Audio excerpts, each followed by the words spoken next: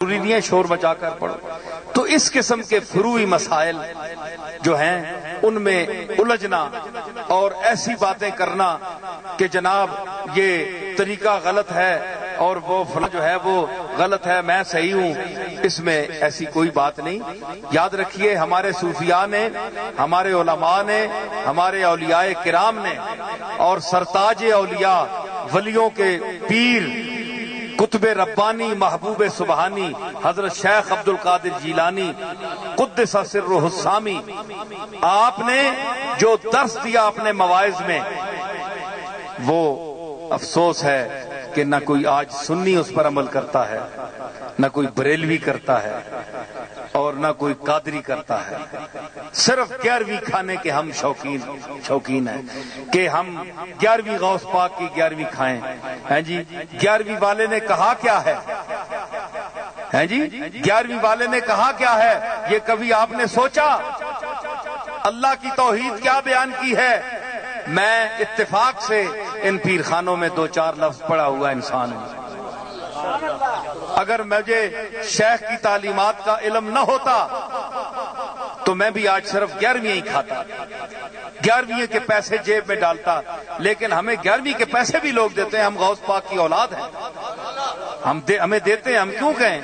लेकिन हम ये भी तो कहते हैं कि उनकी तालीमत भी पढ़ो। उनकी तालीमात और हैं। उनकी तालीमात की तरफ़ जाओ अल्लाह की तरफ़ जाओ अल्लाह से मदद मांगो, अल्लाह की तरफ़ बारगाह में हाजात पेश करो, ये उनकी तालीमात है। यानी ये इसका मतलब ये हुआ कि हम गौस पाक को तो मानते हैं, लेकिन गौस पाक की नहीं मानते।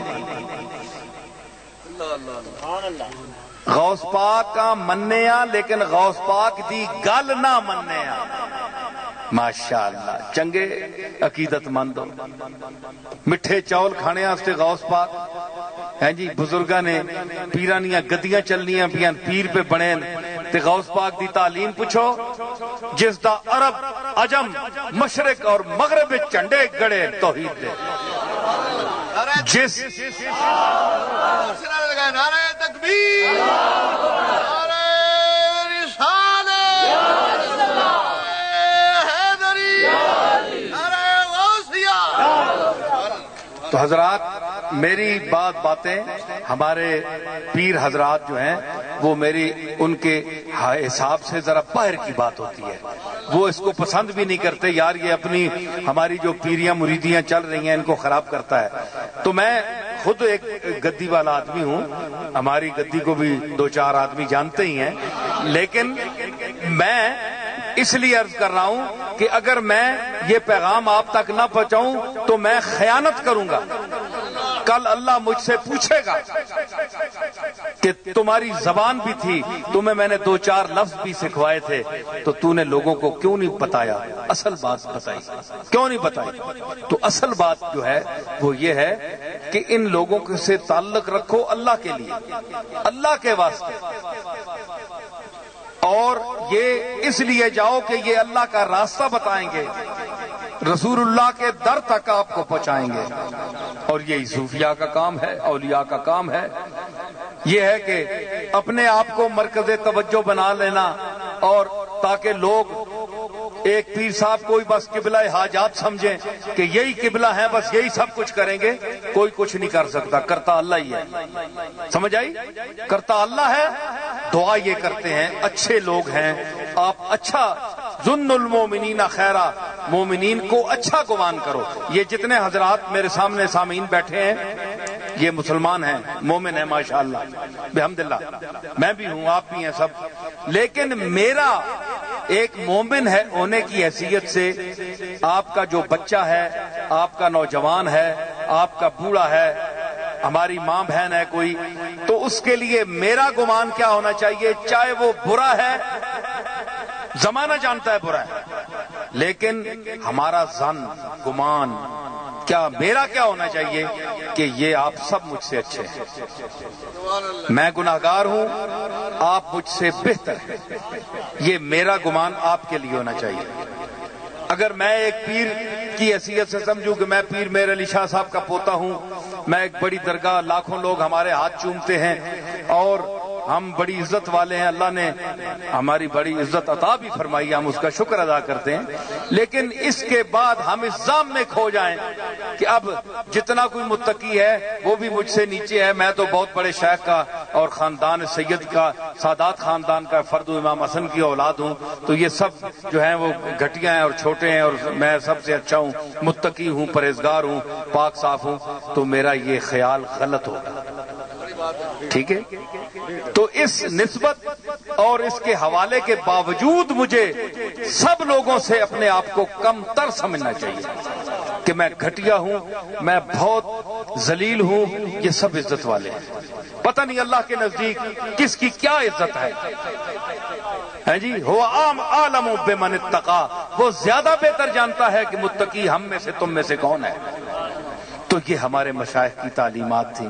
क्या आज कोई आलम दीन, क्या कोई पीर तरीकत इस किस्म के अल्फाज, इस किस्म की तालीम आपको सुनाता हुआ कभी मालूम होता है, दिखाई देता है? कोई नहीं देता। हर शख्स और मुरीदीन जो हैं, ये माशाल्लाह ऐसे होते हैं कि पीरा न मी परंद मुरीदा मी पर आनंद, के मुरीद, पीर बेचारे होते नहीं उड़ते, ये मुरीद अक्सर ले उड़ते हैं पीरों को। ये खराब कर देते हैं। तो पीरों का मीटर क्या होना चाहिए? कुरान और सुन्नत।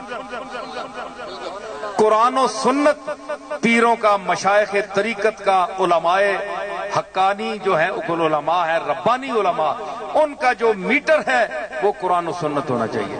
जो मुरीद भटके, जरा उससे बड़े तो उनको फ़ौरन फ़ौरन वही रोक दिया जाए कि ये कुरान और सुन्नत के खिलाफ है। ये है असल पीर, जिनको मैं मानता हूँ।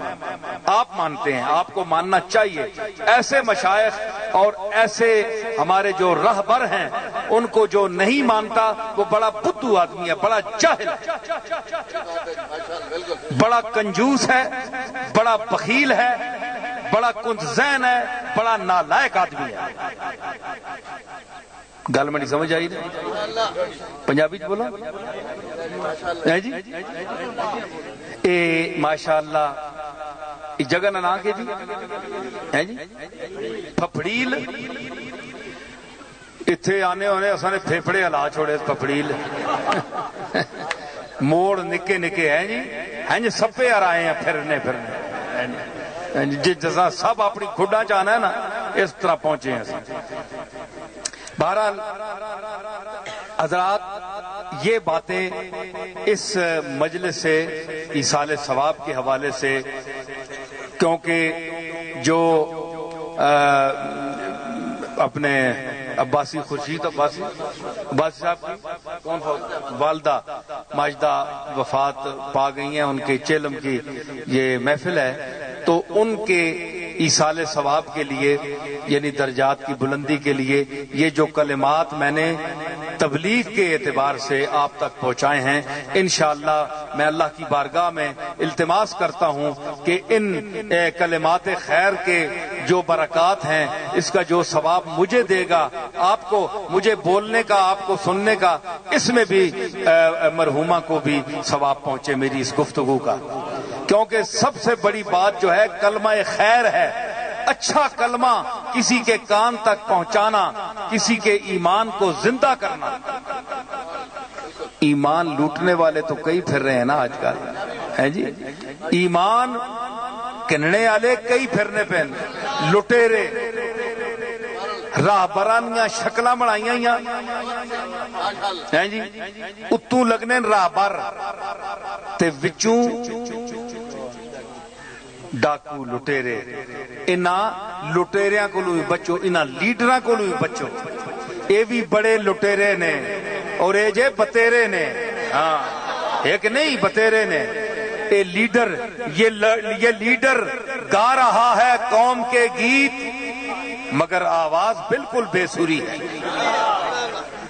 गीत कौम ने गा रहा है लेकिन आवाज़ बेसुरी है क्योंकि नीयत ठीक नहीं। उसका पता है कि इलेक्शन आ रहा है और जनाब चाहे वज़ीर आज़म बैठे या सदर पाकिस्तान बैठे अगले हूँ पाँच साल वास्ते हूँ जेन चल रहा है कि हूँ करा।